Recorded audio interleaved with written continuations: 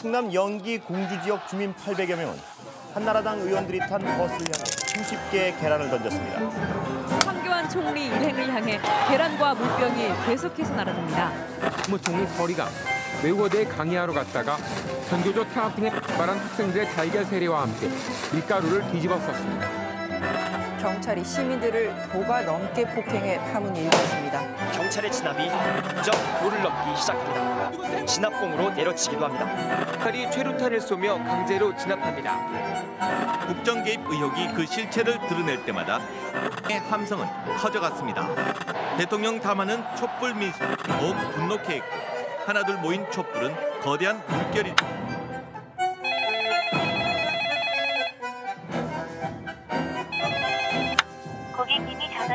음성 여당 지지자들의 문자 폭탄 항의에 시달렸습니다. 김세로 기자입니다. 제1야당이 된 자유한국당과 총리 후보자 적극 방어에 나선 더불어민주당이 자료 제출 문제로 충돌했습니다.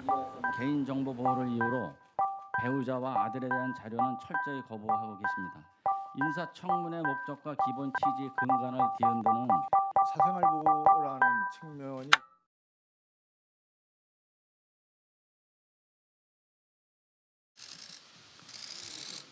9년 만에 공수교대다. 국무총리 후보자에 이낙연 전남지사님을 지명합니다. 청와대가 인사를 단행할 때마다 날선 비판을 쏟아낸 야권. 지난 13일 대통령이 김상조 공정거래위원회 위원장 임명을 강행하자 반발은 더욱 거세졌다. 한 차례 파행 후 시작된 도종환 문화체육관광부 장관 후보자 인사청문회. 시작부터 여야 간 치열한 공방이 이어졌다. 의원님들 책상에 놓여 있는 컴퓨터에다가 지금 보은 코드 인사 협치 파괴 뭐 이런 선전물들을 부착한 부분에 대해서도 저는 상당히 유감스럽다고 생각을 합니다. 지금 문재인 정권의 후보자 지명을 보면 하나같이 일방통행입니다. 이제 인사가 진행될수록 아, 80% 대통령이 아니라 40% 대통령을 자임하시는 것 아닌가 하는 그런 걱정이 매우 들고 있습니다. 장관 후보자를 둘러싼 여야 공방이 고조되는 동안 함께 뜨거워지는 것이 있었다. 바로 의원들의 휴대전화. 청문회가 진행되는 동안 의원들은 연신 휴대전화를 확인했다. 일면식도 없는 이들이 보내오는 문자들. 채 확인하지 못한 메시지도 수백 통에 이르렀다. 소위 문자 폭탄을 받은 의원들은 당혹감을 감추지 못했다. 제가 얼마까지 많이 받아봤냐면 하루에 만 개를 받았어요. 그러니까 이렇게 가만히 있잖아. 계속 들어오는 거야. 초단위로 들어요. 초단위로. 혹시 거, 그거 받으실 때 좀 어떠세요? 아유 그러니까 참 어떻게 이럴 수가 있냐. 이게 국회의원이 뭐 잘난 건 아니지만 국회의원이 그 하는 거에 대해서 정말 국민을 대변해서 할 수밖에 없는 그런 상황인데. 아 저는 오는 대로 차단하고 삭제해 버립니다. 아, 안 읽고 그냥 바로 차단하고 예, 삭제하고 예, 읽어보고 예. 아 읽어보고 별로 좋은 내용이 아니다 싶으면은 예. 새 정부의 내각 인선과 청문회가 진행되면서 후보자들에 대한 각종 의혹만큼이나 논란의 중심에선 이른바 문자 폭탄. 국회에서 여러 번 거론될 만큼 정치권의 화두가 되고 있다. 밤새 그 문자 폭탄에 시달려 가지고 잠도 제대로 자지 못하고 대신 욕은 하도 많이 얻어먹어서 배가 좀 부른 그런 실정입니다. 지랄하네. 너는 군대 갔다 왔냐? 어, 다음 너 낙선 운동하겠다 이런 게 그, 거의 휴대폰이 불이 났습니다. 한 의원은 쏟아지는 메시지들을 문자 테러라고도 했다. 어, 주말 내내 제가 문자 테러에 시달렸습니다. 학교에서 집단적으로 특정 학생을 왕따시키고 린치하는 그런 행위하고 다를 바가 없다고 생각합니다. 지난해 최순실 국정농단 청문회 당시 증인들의 거짓을 밝혀내는데 결정적 역할을 했던 문자. 정윤혜 씨 전혀 모른다고 했잖아요. 그런데 예. 지금 네티즌 수사대가 가동이 됐거든요. 최순실이라는 이름은 이제 보니까 뭐 제가 못 들었다고 말할 수는 없습니다. 청문회의 숨은 주역이기도 했던 문자는 왜 폭탄이 되어버린 것일까?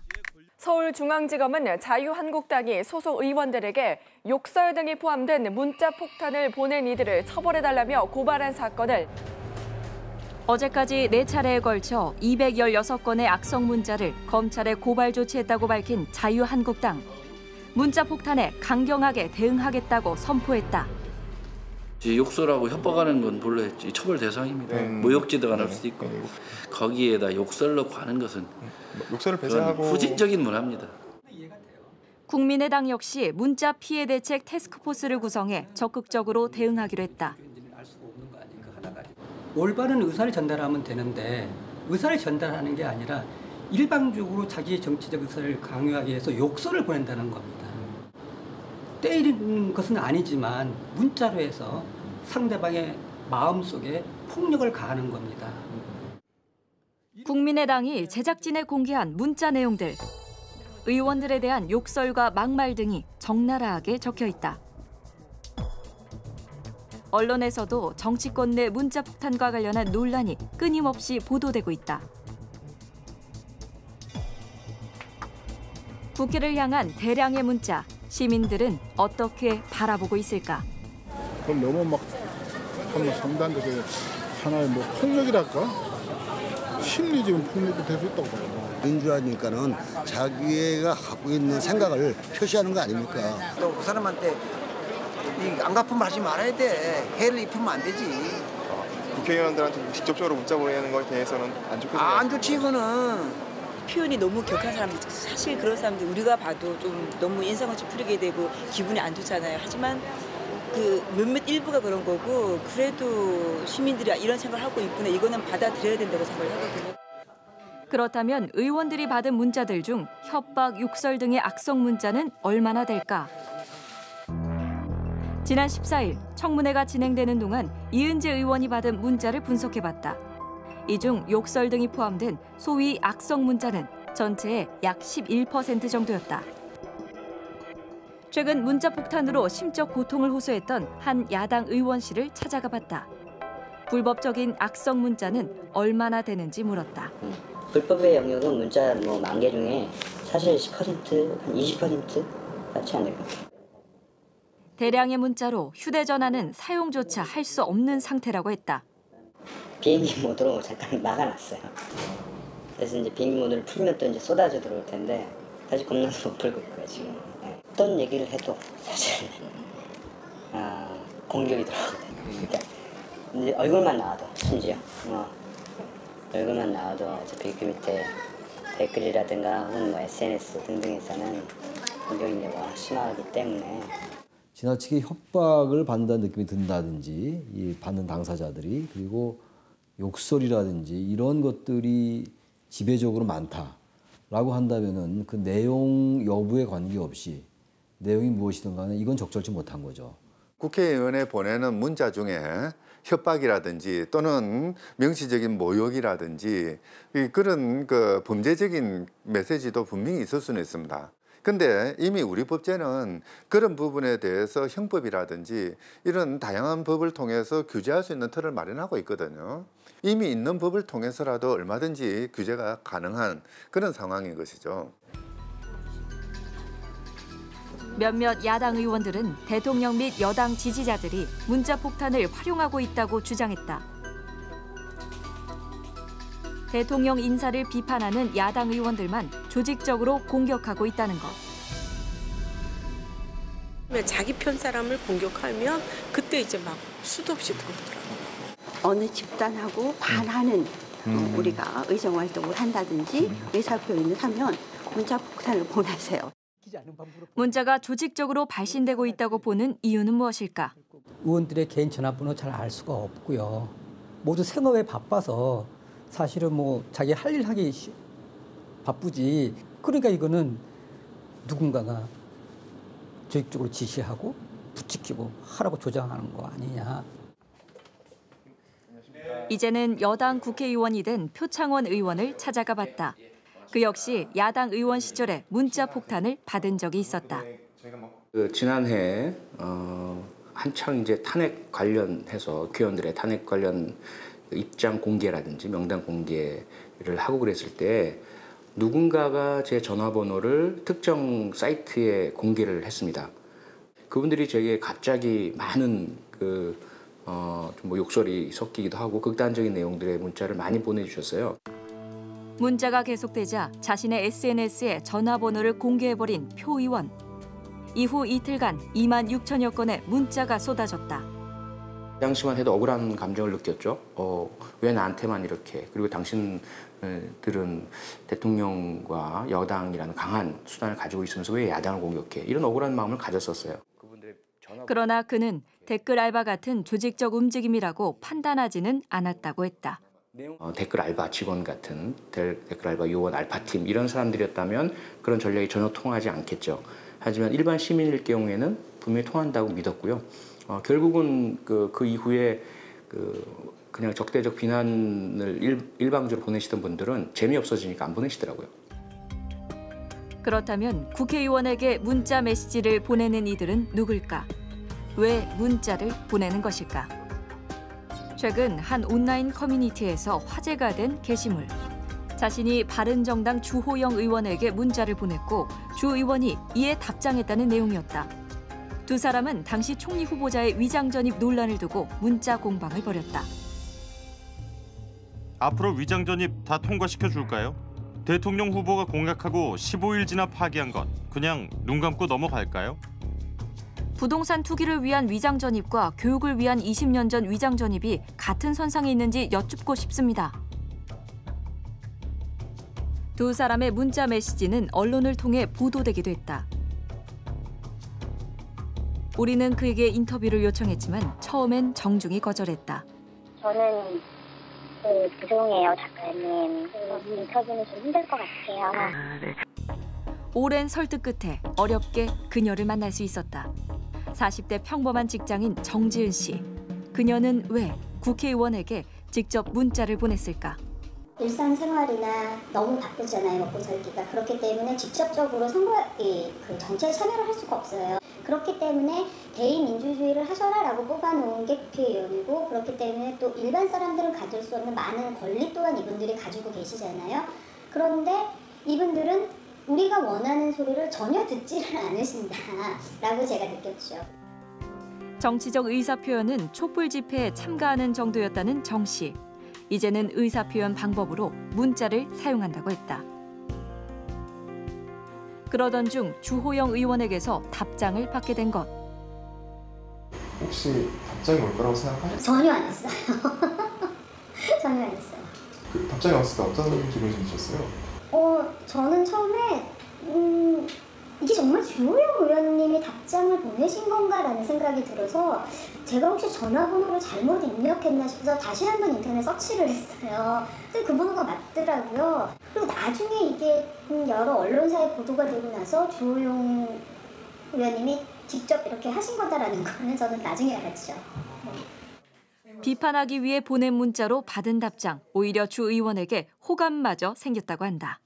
제 의견이 그분의 생각과 전혀 달랐음에도 불구하고 나름 답장을 해주셨어요. 아, 이분은 다른 분들하고 조금 다르구나라고 느끼기는 했어요. 그러니까 들으시려고 하시긴 하시는구나. 그러니까 기존에 우리 헌정사에서 이렇게 유권자가 대표자에게 직접적으로 일대일로 의사 전달을 할 수 있는 채널이 있었는가라고 생각해 보면 그렇지 않았던 것이 사실이거든요. 근데 달리 말하면 그동안에 우리 정치 대표자들이 유권자들의 생각을 직접 듣고 반영하는 어떤 정치적 대화의 통로가 존재하지 않았다는 것이죠. 거기에 대한 유권자의 불만이 어떤 이런 방식으로 표출된 것이 아닌가. 지금 문재인 정권의 후보자 지명을 보면 하나같이 불량품입니다. 청문회에서 후보자를 불량품이라고 했던 이은재 의원. 이와 관련하여 이 의원에게 문자를 보낸 발신자와 통화해봤다. 어, 굉장히 주저주저 많이 했었거든요. 과연 이것을 보낸다는 것에 대해서 뭐 사건이 저 계속 쟁점화 막 이렇게 될 때 그냥 뭐 바라만 보고 있어야 되니까 그래서 직접적으로 와 이렇게 참여를 할 수도 있구나 이 의원의 발언 때문에 문자를 보냈다는 또 다른 발신자. 저는 그냥 학부모예요. 그냥 학부모고 이윤재 그때 청문회 하는 걸 보고 저는 가만히 있을 수가 없었던 거예요. 그러니까 저도 이게 막 욱하니까 저도 같이 이렇게 문자 행동을 한 거지. 번호 같은 경우에는 어떻게 하셨나요? 네이버나 이런 다 다음에 보면 국회의원 전화번호라고 검색을 하면 그 국회의원 번호가 따로 수집 된 형태로 공개되는 그 사이트가 있는 거 있어요. 그래서 저는 거기를 통해서 인터넷 카페를 통해 국회의원의 전화번호를 알게 된 이들도 있었다. 간혹 문자 발송 독려 글이 올라오긴 하지만 결국엔 각자의 판단이라고 했다. 그런 것들로 인해서 자발적 참여를 하는 계기는 될 수는 있겠죠. 어, 저도 뭐 거기서 이렇게 보다가 아 이런 것들이 있구나라는 것들을 깨달았으니까 지금 이제 인터넷 커뮤니티들을 보면은 어, 자기들 이제 뭐 정서와 취향 이런 걸 같이 하는 사람들의 모임인데 보통 그 비정형적 모임이죠. 어떤 조직이 있는 것도 아니고 서로 간에 아무런 연계도 없는 사람들인 경우가 많거든요. 이건 조직이 아니죠. 이게 여론이라고 봐야 돼요. 어떤 개인들은 그 나중에 혹시 있을지도 모르는 처벌을 감수하면서 본인의 의사를 직접적으로 표현하는 것이거든요. 그렇다면 이것은 어떤 민주주의의 자신의 의사를 표현하기 위한 하나의 방식으로 볼 수 있지 않나. 여론을 조성하거나 정치적 의사를 표현하는 도구로 활용되고 있는 문자. 하지만 그 도구가 언제나 옳은 방향으로 간다고 장담할 수는 없다. 안경환 법무부 장관 후보자의 사퇴에는 이른바 이 몰래 혼인 신고에 대한 무효 판결문 공개가 결정적인 원인이 됐습니다. 지난 16일 안경환 전 법무부 장관 후보자가 사퇴했다. 문재인 정부의 첫 인사 낙마자였다. 후보자 사퇴에 결정적 역할을 한 혼인 무효 소송 판결문을 공개한 주광덕 의원. 그는 인사 검증의 일환으로 판결문을 공개했지만 되려 만여 통 이상의 문자 폭탄을 받아야만 했다. 문자 폭탄이 그 이전에 비해서 50배, 100배로 양이 늘어나고 있습니다. 여당에서 판결문 입수 관련 위법 의혹을 제기했고 여당이 지적한 유출 의혹에 따라 대량 문자가 주 의원에게 발송됐다. 판결문이 사전에 유출되어 공개되었다는 것을 의심할 수밖에 없는 정황입니다. 정당이 어떤 민의를 왜곡하고자 프레임을 준 거잖아요. 불과 두세 달 전까지 딱 그 행위를 자신들이 비판했었잖아요. 당장은 정치적으로 어느 정도의 과실을 얻을 수 있겠지만 시민사회가 성장하고 시민들이 소양을 더 쌓으면서 경험을 축적할수록 결국 그게 부메랑이 돼서 돌아올 거예요. 문자를 이용하려는 자와 문자를 거부하려는 자. 문자 폭탄을 대하는 의원들의 자세는 각양각색이다. 최근 문자 폭탄에 시달리던 민경욱 의원. 문자를 보낸 이들에게 발신인 실명을 쓴 답장을 보내거나 문자를 보내지 말라, 익명성에 숨지 말라는 등의 경고성 메시지를 보내 논란이 됐다. 이러한 좀 과도하다고 느껴질 정도의 비난이나 비판 이런 것들을 감내할 만한 자세가 돼 있어야 돼요. 그게 안 돼 있다면 그 사인으로 돌아가는 게 맞는 겁니다. 단지 그것이 과도한 협박이나 어떤 실정법을 벗어나는 그런 것들이 아니라면 주권자들의 당연한 권리 행사인 것이고 국회의원들은 그걸 받을 의무가 있는 거죠. 어. 몇몇 의원들은 문자를 제재하기 위한 법안 발의까지 고려하고 있다. 저희가 법안을 하나 만들어야 될 것 같아요. 음. 이렇게 그냥 갈 수는 없어요. 그렇게 그 물- 물론 국민의 뜻도 좋지만 그게 국민의 뜻, 뜻으로다가 뭐 한꺼번에 어디다 표출하는 건 모르지만 개인에게 이렇게 폭탄을 하는 것은 어떻게 보면 어, 범법행위라고 볼수 있는 거죠. 보이지 않는 곳에서 남을 공격하는 건 테러 문화입니다. 어, 국민의 대표 기관을 아, 그런 식으로 위협적으로 한다는 것은 사실 있을 수 없는 일입니다. 그래서 그런 부분에서는 제도적인 정비가 좀 필요하고 과연 법으로 시민들의 문자를 제한할 수 있을까? 이거를 어떤 입법을 통해서 막는다? 어, 저는 효과가 없을 거라고 봐요. 정치권에서 정치인들이 어떤 시민의 목소리를 듣기 위해서 얼마나 노력을 했었는가에 대해서는 좀 반성을 할 필요가 있다고 생각을 해요. 정치권이 이 시민의 목소리에 더 가까워져야 된다라는 일종의 시대적인 요구이거든요. 유권자가 대표자에게 의사를 전달하는 효과적인 창구가 합리적인 창구가 마련이 되고 그 창구 안에서 어떤 의사 교환이 역동적으로 이루어진다면 이 이런 현상은 오래갈 이유가 없는 것이죠. 굳이 어떤 처벌을 두려워하는 마음을 가지면서까지 일부러 이렇게 남에게 괴로움을 주기 위한 문자를 보낼 사람은 없을 거라고 생각이 돼요. 그러니까 우리 민주주의가 정상 적으로 그리고 정당 정치가 어, 성숙하게 회복이 된다면 저는 이거는 그 오래 갈 만한 그런 현상은 아니라고 생각을 합니다. 국민의 목소리에 귀 기울이지 못했던 기존의 정치권. 끝내 국민과의 소통을 거부했던 이는 탄핵됐다. 대량으로 문자를 보내는 행위가 민의인지 테러인지에 대한 논란은 계속되고 있다. 그러나 촛불을 지나 광장의 열망이 휴대전화로 넘어왔다. 국민을 떠난 정치는 없다.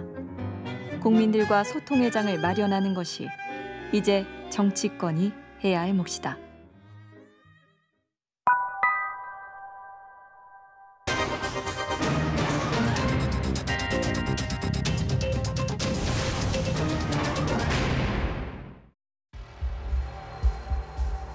십일 차 탐정 강 실장을 찾아온 의뢰인. 남편의 외도를 의심하고 있었다. 의뢰인은 탐정에게 남편의 불륜 증거를 확보해 달라고 했다. 며칠 후 잠복을 시작한 탐정. 이런 불륜 관련 의뢰는 간통죄 폐지 후 부쩍 늘었다. 이 사람들은 지금 거의 이제 절박한 상황이죠. 그러니까 마지막 희망이라고 생각하고 이제 저한테 의뢰를 하는 건데 이제 어느 정도 마음의 준비를 다 하고 뭐 이혼까지도 생각을 하고 의뢰를 하는 거기 때문에 그래도 어쨌거나 상처는 받죠. 하고 나가길래 나도 어, 나도 나다 나다 의뢰인 남편의 승용차. 탐정이 그를 따라갔다. 쪽으로 타고 이렇게 가도 도심에서의 차량 미행은 실패 확률도 높고 위험한 일이기도 하다. 저쪽에 있어요 바로 옆에 저쪽에 얘 앞에 있어 어 지금 하나 뛰어들었다 왜 주차한다. 한 시간여를 달린 승용차가 멈춰섰다. 찻집에서 한 여성과 만나는 의뢰인의 남편. 의뢰인이 증거 확보를 원한 것은 이혼 소송을 위해서였다. 물론 많, 많은 일이 일어나지는 않으면 좋겠지만 그래도 저 같은 사람이 꼭 필요하긴 하, 하죠. 왜냐면 그분들은 도움을 요청할 곳이 없고 그렇다고 경찰 쪽에서 뭐 이런 증거를 잡아주기 위해서 일을 하진 않잖아요. 변호사가 많은데 아직까지 우리나라 변호사 시장은 의뢰인에게 증거를 가져오라고 하는 거예요. 예, 의뢰인에게 증거를 수집해 달라 이런 거거든요. 나온다. 의뢰인에게 도움이 될 만한 결정적 증거 확보를 위해 남녀의 행방을 계속 추적하는 탐정. 결국 모텔로 들어가는 모습이 포착됐다. 불륜 증거가 될 만한 상황을 목격한 탐정은 즉각 의뢰인에게 사실을 알렸다. 의뢰인이 직접 현장에 와 증거를 확보하는 것이 원칙. 장비를 사용을 오히려 권하는 의뢰자들이 가끔 있거든요. 그럴 때는 제가 사용을 하지 말라고 해요. 왜냐면은 그게 나중에 문제가 되면은 그 의뢰를 하신 분도 처벌을 받게 되거든요. 탐정 합법화 논란. 핵심은 사생활 침해 문제다. 실제로는 그 민간 아니겠습니까? 민간이 개인의 정보를 수집하는 거거든요. 그것을 보유하고 제공하고 공표할 수 있고 이것은 기본적으로 특히 이 정보화 사회에 있어서의 그 개인의 정보를 보호하는 그런 추세하고도 역행한다. 공인 탐정제 도입은 문재인 대통령의 대선 공약 중 하나였다. 뜨거운 감자로 떠오른 공인 탐정제. 한국판 셜록 홈즈의 탄생은 과연 우리 사회에 득이 될까 독이 될까? 저희 아들 좀 찾아주세요. 15년째다. 2002년 4월 12일 여느 날과 다름없이 출근했던 마다들은 흔적도 없이 사라졌다. 찾아주세요. 아, 예. 예. 저 어쨌든 부탁합니다. 예. 잘생겼네. 예, 주세요. 예. 아, 할머니 좀 찾아주세요. 글쎄요, 아이고 귀찮아. 30층도 누가 그랬을까? 어디 보이지를 않는 거예요. 인- 인생의 끝이. 지금도 15년이 됐어도 밤 2시만 일어나면 기예상 갖고 또 그런 거예요. 어디서 전화가 안 오나. 어디 어디 죽은 거 우리 아들인가. 아버지는 아들이 별 탈 없이 직장 생활을 잘 하고 있는 줄만 알았다. 조만간 여자친구를 데려와 인사시키겠다고도 했던 아들은 왜 15년째 돌아오지 않는 것일까? 훌륭하게 아침 늦고다 메고 다 죽으러 하는데 뭐 걱정이에요. 그러고 나서 나간데 일, 일주일 만에 가서 방 뒤져보니까 면허 취소됐었지. 그 채무 관계가 조금 있었지. 혹시 자살을 안 했나? 그런 자살했으면 시체라도 왜야 되는데. 경찰은 별다른 수사를 벌이지 않았다. 범죄의 연관성이 발견되지 않았다는 이유였다. 수없이 갔죠. 10번 이상, 20번 이상 갔는데 실질적으로 제 속에는 이런 경찰이 어디 있느냐. 폭파시키고 싶은 생각이 들었어요. 경찰서로. 제가요 또 돈을 많이 내버렸어요. 무속, 무속인들한테 무속인들한테 물어보잖아요. 그럼 뭐 300만 원짜리 굿도 해보고 그러던 어느 날 생활정보지에서 심부름센터 광고를 보게 된 아버지. 한 심부름센터에 전화를 걸어 실종된 아들을 찾아달라고 요청했다. 반드시 찾아주겠다는 심부름센터 측의 약속을 믿고 싶었던 아버지는 그들이 원하는 대로 착수금도 보냈다. 그러나 죄송합니다. 지금 거신 전화는 고객의 사정으로 통화할 수 없습니다. 돈만 받은 뒤 잠적해버렸다. 이러니 스- 성질이나 많이 나고 누구한테 하소연을 못합니다. 또 다른 심부름 센터에선 아들을 찾았다고 했다. 성공 사례를 입금하면 아들의 연락처를 알려주겠다더니 그것도 사기였다. 그래갖고 홈치, 홈치평에서 걔가 물건 샀다.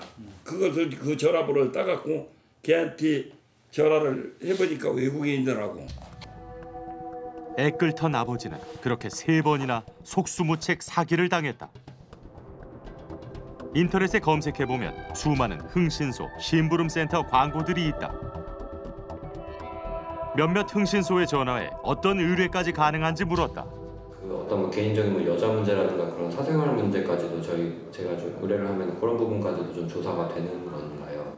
그렇게 해야 저희들이 성공 보상을 받을 수가 있겠죠. 예.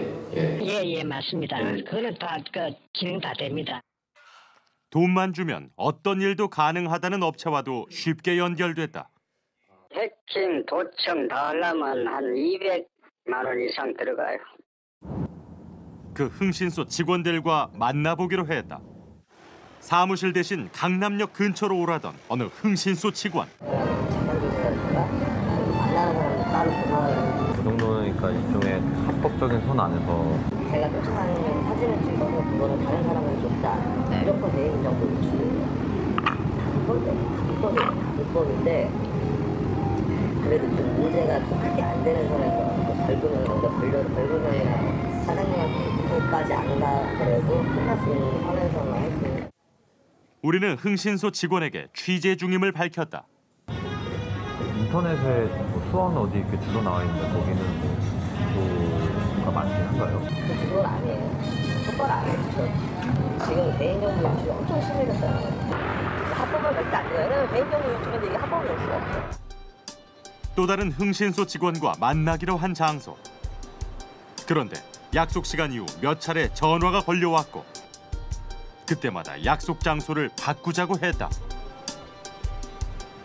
옷 어디 모두 뭐 입고 계세요? 저, 저 정장이요 파란색 정장 파란색 정상 내가 여기 보고 있으니까 지나가면 말씀드릴게요. 예 알겠습니다 네. 네. 그렇게 접선하듯 만난 흥신소 직원의 뜻밖의 제안. 다른 사람의 컴퓨터 해킹도 가능하다고 했다. 사진도 다볼수 있고 아니면 그다음에 통화 내 어떤 전화번호를 보낸 거 맞는지 그리고 위치 24시간 위치가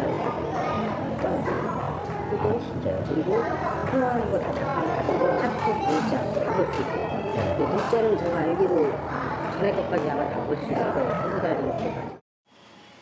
탐정 업계는 이런 불법 때문에라도 공인 탐정제, 즉 탐정 합법화가 필요하다고 주장한다.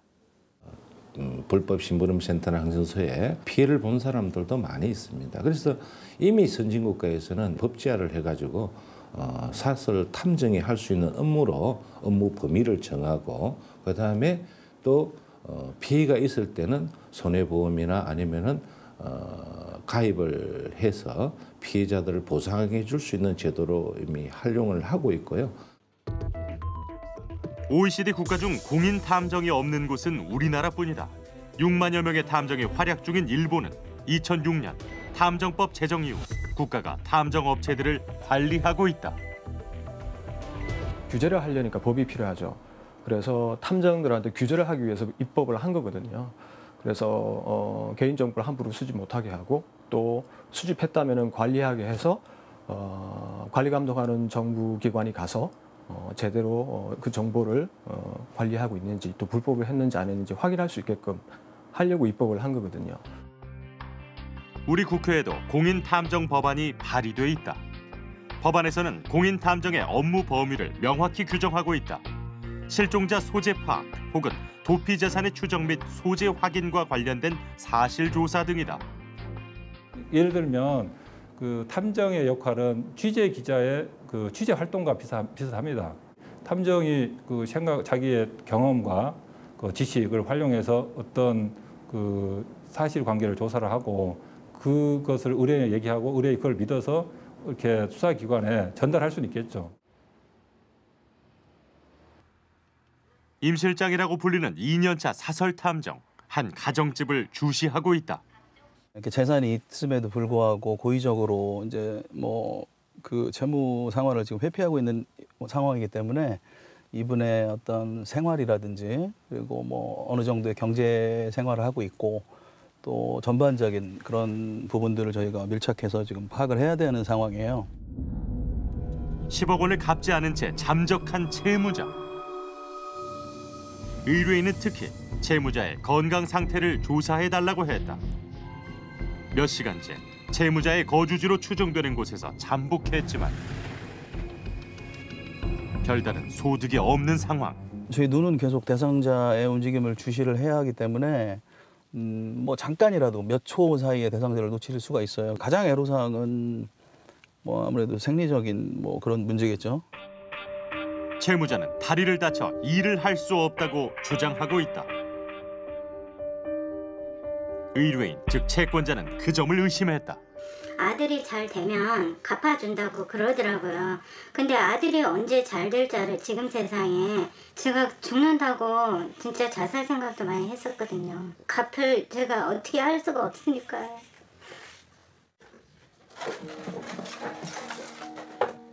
남편과 상의 없이 빌려준 10억 원. 가사 도우미, 식당 아르바이트를 하며 은행 이자를 갚는 중이라고 했다. 진짜 신랑한테 쫓겨나게 생겼다고 그렇게 얘기를 했거든요. 그랬더니 알았다 그러더니 전화 딱 끊어버리시더니 그 뒤부터는 전화를 안 받으시더라고요. 집도 이미 경매로 넘어갔다. 한 지인이 탐정에게 채무자 조사를 의뢰해보라고 했다. 탐정이 잠복한 지 7일째 되던 날 드디어 채무자가 나타났다. 그런데 채무자는 두 다리로 멀쩡히 걸어가고 있다. 탐정의 조사로 채무자 거주지와 상태를 파악한 의뢰자. 지금은 어디에 살고 있는 것도 알고 있고 연락이 안 돼도 제가 찾아갈 수 있는 근거지가 있으니까 그때는 연락 안 받으면 찾아갈 수 있는 그런 게 없었거든요. 솔직히 막막했거든요. 억울한 일을 당한 서민들은 우선 경찰에 기댄다. 그러나 빌려준 돈을 받아달라는 등 경찰과 상담한 뒤 반려되는 단순 민사 사건만 연간 약 13만 건에 달한다. 경찰력이 그런 민사 사항까지 개입하는 것이 꼭 바람직하다고는 볼 수 없다고 보죠. 그리고 선택과 집중 원칙에 따라서 경찰이 개입할 수 있는 그런 범죄 행위에 대해서는 정말 그렇게 해야 되겠지만 개인 간에 일어난 그런 사안에 대해서는 사적 자치의 원칙에 따라서 개인이 해결하는 것이 맞다고 봅니다. 민사 사건은 채권자가 증거를 수집하지만 형사 고소를 하면 경찰 등이 수사에 나선다. 경찰력 낭비라는 지적도 있어 왔다. 어찌 보면은 민생 치안에 전념해야 할 경찰이 민사 사건에 있어서 증거 수집, 채무자의 소재 파악해 주는 그러한 기관으로 전락하게 되는 거죠. 미상의 남자가 기업의 여직원에게 접근한다는 첩보가 들어왔어요. 우리 현장에 나가는 탐정 합법화를 기대하며 민간 자격증 취득 교육 과정에서 탐정의 꿈을 키우는 사람들도 있다. 자, 긴장하시고 계속 보고해 주세요. 육아 문제로 경찰에서 퇴직한 박정원 씨. 도와주고 싶은데 이분 정말 왜냐하면 증거가 있으면은 유죄를 받고 피해를 보상받을 수 있는 길이 있는데 할 수 없고 저희 인력의 한계가 있는 거예요 당시 상에 그래서 굉장히 마음이 아팠었습니다 음, 제가 다시 일할 수 있는 일이 없을까 하고 찾다가 보니까 이 탐정이라는 게 있기도 하고 또 제 업무와 또 연관성이 있어서 제가 이걸 접하게 됐는데 행정사 오시우 씨는 탐정 업무를 병행하려 한다. 의뢰인이 찾아오셔가지고 이모님이 집을 나가셨는데 꼭 좀 찾아달라고 했습니다. 근데 제가 그런 업무 분야는 처음이다 보니까 거절을 했고 이 업무 분야를 전문적으로 배우고 싶어서 이제 탐정 최고위 과정에 등록을 했습니다. 우려가 있는 만큼 엄격한 기준으로 공인 탐정을 선발할 것이라는 경찰청. 탐정은 아무나 될 수 있는 게 아니고요. 당연히 그런 경험과 지식을 갖고 있는 사람들이 엄격한 자격 시험을 통과해서 하게 됩니다. 또 젊은 학생들 경우에도 학교에서 그 정보 보호에 관한 법률도 배우고 또 조사 기법도 배우게 되면 젊은이들도 탐정 업계로 그 유입될 수 있고요. 공인 탐정제 도입이 일자리 창출에 기여할 것이라는 기대도 있다. 근데 탐정이 어려운 게 아니거든요. 그냥 보통의 사람들이 어려울 때 어, 자신들을 위해서 대신 어, 일을 해주는 사람이거든요. 또 특정인을 막 괴롭히고 미행하고 뭐 추적하고 이런 것들만 생각하는 건데 어, 그 부분에 있어서 좀 많은 오해가 좀 풀어졌으면 좋겠습니다. 정보기관 출신의 조광신 씨. 경찰이 1년 넘게 잡지 못해 기소 중주됐던 수배자 검거에 결정적 역할을 하기도 했었다. 경찰의 수사를 피하면서 도피 생활 이어온 사람을 공권력이 없는 음, 저희 같은 민간 조사원, 즉 탐정이 사건을 해결하기에는 어려운 부분이 분명히 있죠. 저희가 할 수 있는 어, 방법은 공개된 대중매체를 활용한다든지 기존에 구축되어 있는 첩보 루트를 통해서 어, 지명 수배자를 어, 찾아내는 방법으로 접근을 해야 되는 거거든요. 수배자는 농민들에게 납품 대금을 지불하지 않은 채 잠적해버린 한 농산물 관련 업체 대표였다. 농민들의 피해액만 총 9억여 원. 고민 끝에 수배자 소재지 파악을 탐정에게 의뢰했다는 김모 씨. 피해를 보상받을 길 없는 농민들은 절규하고 있던 상황이었다. 이 객단가가 낮은 농산물이기 때문에 그 규모가 그 8, 9억이면 어마어마합니다. 그러면 생산 농민들한테는 거의 뭐 2년 정도의 2, 3년 정도의 그 생산량이라고 보면 됩니다. 의뢰를 받은 탐정은 수배자의 행적을 쫓기 시작했다. 수배자가 자주 드나들었다는 강남 유흥가에서 첩보를 수집하던 탐정은 결정적인 정보를 입수한다.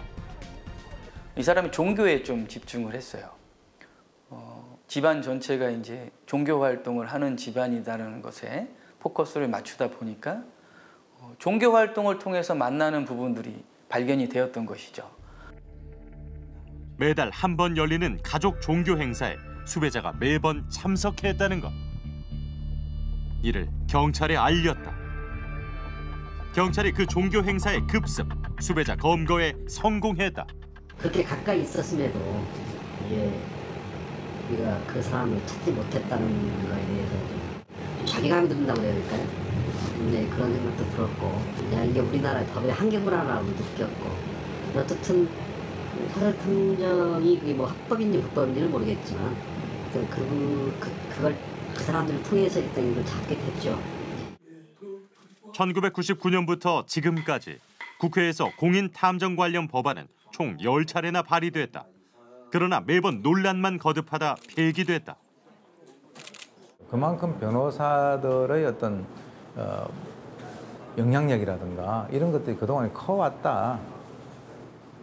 그럼 사실은 이게 뭐 국회 법사위라든가 이런 걸 통과하려면 국가 법, 국회 법사위에 있는 사람들의 구성원들이 거의 다 누굽니까? 네, 법조인들이잖아요. 공인 탐정제 도입 여부에 가장 민감한 곳은 변호사 업계. 대한변협은 강력히 반대해오고 있다. 근데 공인 탐정사한테 그 정도의 그 도움을 받을 정도면 반드시 보수를 지급할 건데 그것을 얼마든지 변호사한테 할 수 있는 겁니다. 요즘 변호사가 굉장히 많아졌거든요. 그래서 변호사 보수가 실질적으로 많이 그 낮, 낮춰져 있습니다. 변협의 주장대로 탐정 합법화는 자칫 사생활 침해에 날개를 달아줄 가능성도 충분히 있다. 결국 조사한다고 하는 것은 은밀하게 상대방이 모르게 해야 되니까 은밀하게 해야 되거든요. 그렇다면 그것은 사실은 관리 사각지대, 사각지대에 놓일 가능성이 굉장히 높습니다. 만약에 예, 자격증을 부여한다 하더라도 그 이후에 발생될 수 있는 여러 가지 어떤 불법, 탈법, 도청 이런 것과 연관해서는 어, 원 스트라이크 아웃제를 도입을 해야 된다. 불법 탈법을 한다 하더라도 다시 살아남을 수 있는 가능성이 없다라고 하는 인식이 있어야만 이 제도가 뿌리 깊게 정착을 할 수 있는 그런 계기가 될 수 있다는. 탐정 합법화의 가장 적극적인 곳은 역시 경찰청. 퇴직 경찰들을 위한 일자리 창출 노력의 일환이다. 전직 경찰, 검찰 수사관들이 주로 그 영역에 뛰어들 겁니다. 그럼 보시, 보시죠. 어, 그, 그, 그 사람들 결국은 개인정보를 이렇게 취득한다고 하는 것은 결국 본인들이 몸담았던 법원, 그 경찰과 검찰 그 사람들의 도움을 받을 가능성이 굉장히 높거든요. 그렇다면은 그것은 결국은 또 다른 정관 예우가 될 수가 있다. 이런 것이고요. 정관 예우는 그럼 1년 이내 몇 년까지는 제도권에서 진입하지 못하도록 하면 되고 도리어 뭐 검찰이나 경, 변호사나 이런 분들의 그동안 정관 예우 얼마나 많았습니까 실질적으로 경찰이나 국정원에서 정보 조회에 대한 걸 상당히 민감하게 지금 다루고 있거든요. 그래서 민간조사원 제도가 된다고 하더라도 퇴직한 선배 경찰을 위해서 현직 경찰관이 자기의 직을 걸고 정보를 함부로 빼주는 게 지금 현재 구조로도 쉽지는 않거든요. 예. 경찰 등의 수사 경력자들은 탐정 자격 시험에 유리할 수밖에 없다. 무엇보다 비리를 저지르고 퇴출된 이들의 탐정업계 진입을 엄격히 제한해야 한다는 지적이 있다. 사실은 이거는 기술인데 이 기술 이전에 더 필요한 건 윤리거든요. 도덕 윤리란 말이에요. 그런데 이제 기술은 뛰어나는데 도덕이라든가 윤리에 문제가 있어서 조직을 떠나게 된 그런 사람들은 어떻게 보면 나와가지고 돈을 더 많이 벌 수가 있다. 그렇다면 사회 정의가 무너진다. 여러 논란 속에서도 점차 가시화되고 있는 공인 탐정 제도. 무엇보다 불법 사찰, 사생활 침해 등 예상되는 부작용을 최소화할 수 있는 지혜가 담겨야 할 것이다. make my blood pound faster. You make the rain fall.